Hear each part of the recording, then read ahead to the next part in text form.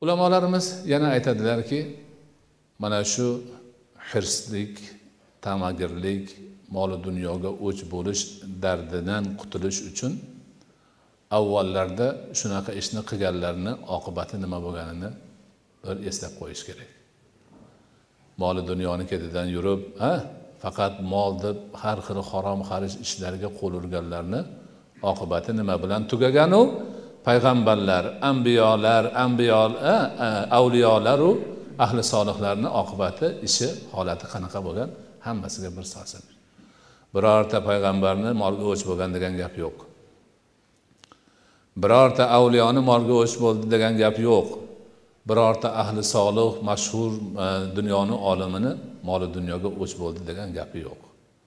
Lekin moli dunyoga o'ch bo'lganlarni moli o'zini boshiga balo bo'lgani o'ziga qo'shib molini ham yer yutib yuborgani va boshqa to'g'risida qur'onda ham hadisda ham boshqa yoqda ham nihoyatda gaplar ko'p qissalar ko'p ibratlar ko'p.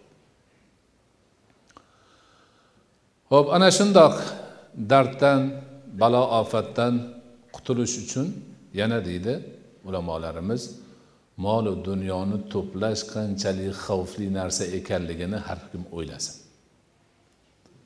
Keragi yo'q ortiqcha haromdan harishdan birovni haqqini yeyishdan va boshqa boshqadan to'plangan mollar nihoyatda katta xatar bo'ladi.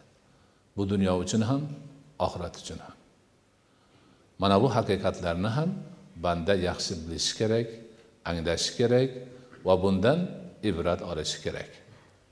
Ana shunda go'zal tarzda bu dunyo va oxiratni baxtiga saodatiga erishishi kafolatini olgan holda mo'min musulmon odam ana shu molga o'chlik morsga his qo'yish tamagirlik xastalaridan sog'lom tarzda baxtiyor tarzda yashab boradigan bo'ladi.